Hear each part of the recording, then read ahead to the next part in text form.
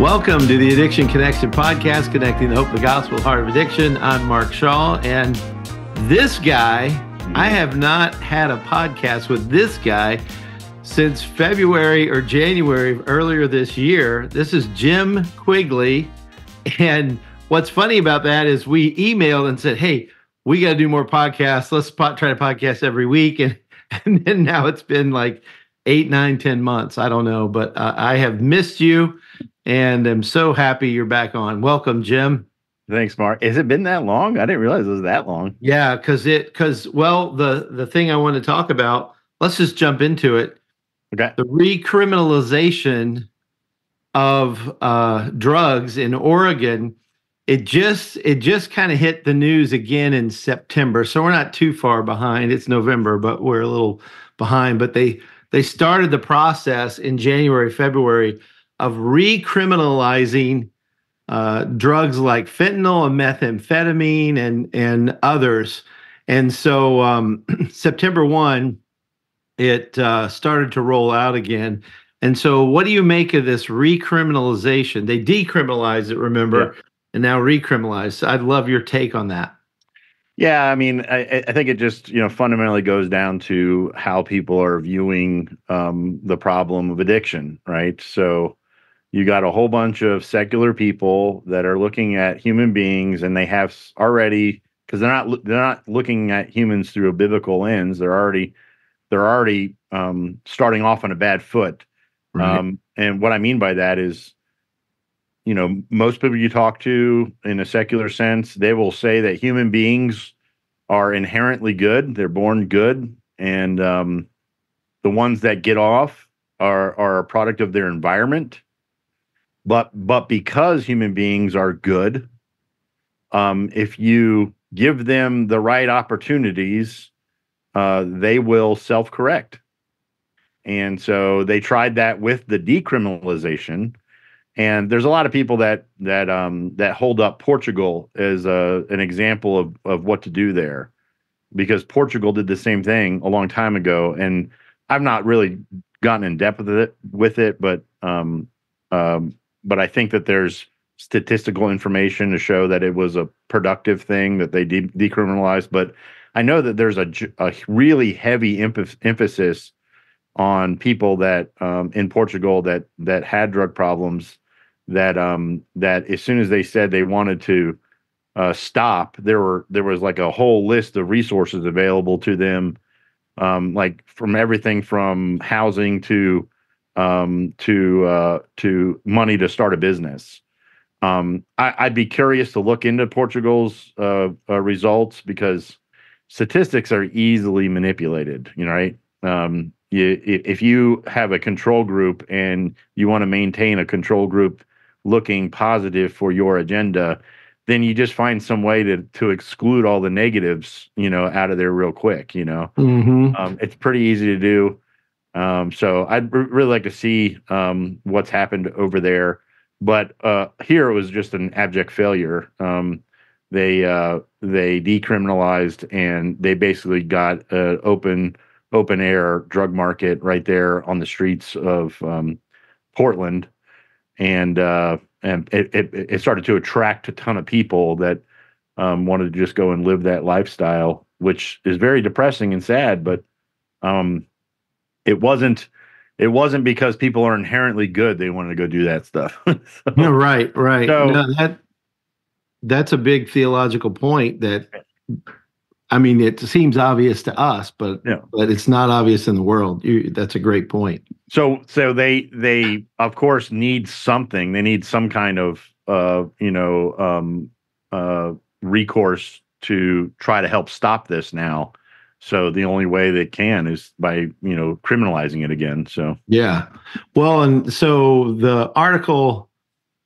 I'm reading, it's out of Oregon, and they said the rollback of ballot measure 110 went into effect September 1. Here's how it started. It says Oregon has ended its experiment with drug decriminalization.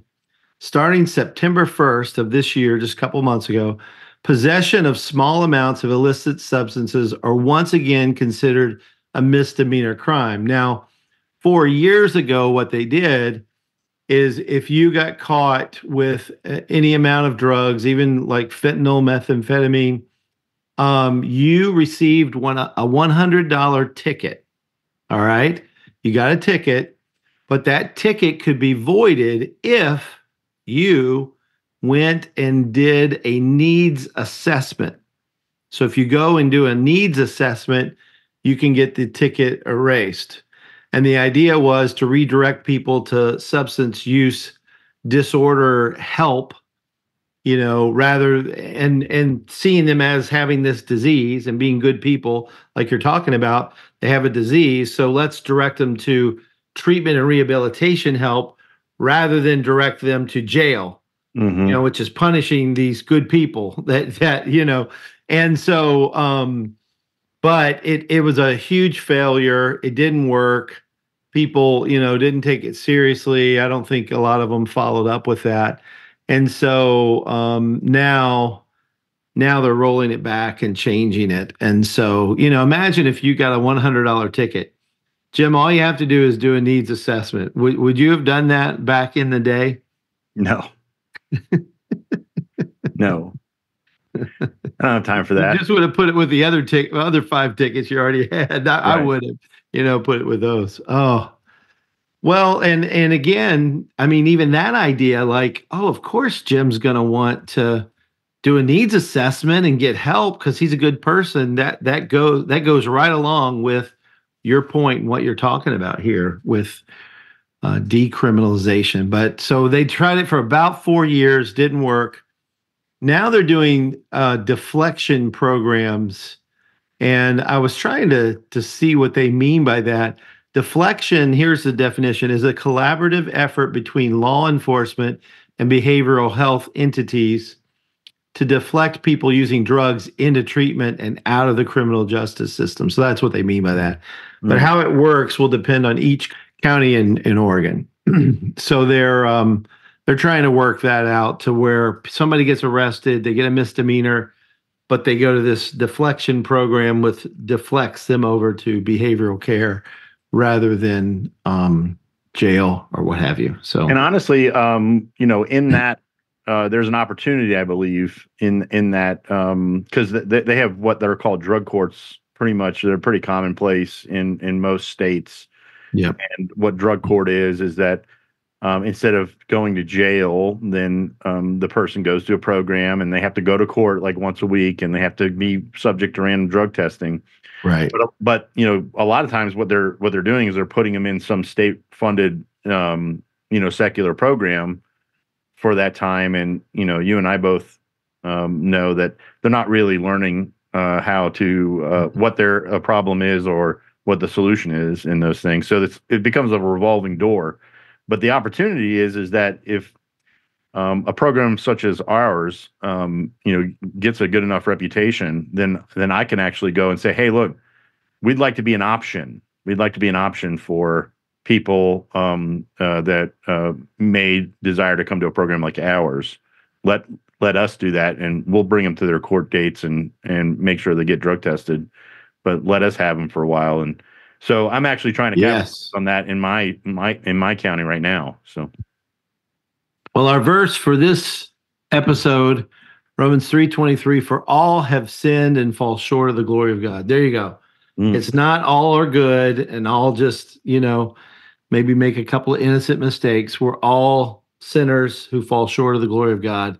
And that has to that has to be the foundation when you think about policies and and um and I wish our government had more of a, a view of Christ and biblical truths because it would help them in making policies that would actually work rather than experimenting with decriminalization and no. it didn't work in Oregon. Uh, not to say they're not going to try it some other place or maybe even try it here again and think, well, we can do it better this time. But I just when I saw this in February and I saw it again in September, I go, I've got to have Jim back on because decriminalization. We talked about it when it first happened. Like this is a bad idea. We're on podcast record of saying this is a bad idea, and then now. Yeah. And to follow up on the Portugal, while while um, you were talking, I quickly just Googled it real fast. And, yeah. And quite a few articles popped up, and one from the Wharton School, which is a you know um, a highly prestigious school, um, they uh, the the article the article's um, uh, title is is Portugal's drug de- decriminalization a failure or success? The answer isn't so simple. so um so they they talk about all the positives. I just briefly skimmed it, but um halfway through the article it says the unraveling of a system. Decriminalization is still just a part of a larger issue. So they they are now um having it's it's unraveling in Portugal even. So yeah. Yeah. Well, because of biblical truth. There we go. Yep.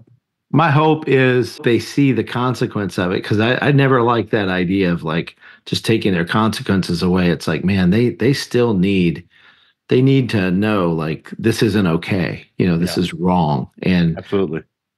you know, we live in a day of participation trophies and everybody is good. And we've lost some things that uh that I value anyway, because I make everything a competition. But um You're but very that's a, competitive.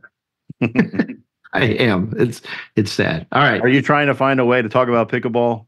No, you know, I, I I usually am, but right now I hurt my foot and I'm out for about ten weeks, so I'm I'm uh, a little bit on the depressed side. So oh no. so Pickleball yeah, withdrawal. pickleball withdrawal. It's a it's a thing. Yeah. All right. Well, thanks, Jim, and we'll end the, this podcast on this, but I, I want to do some more with you. So to our crowd, thanks for watching. Click everyone. on the like button. That's what everybody says at the end. And take care and God bless. God bless.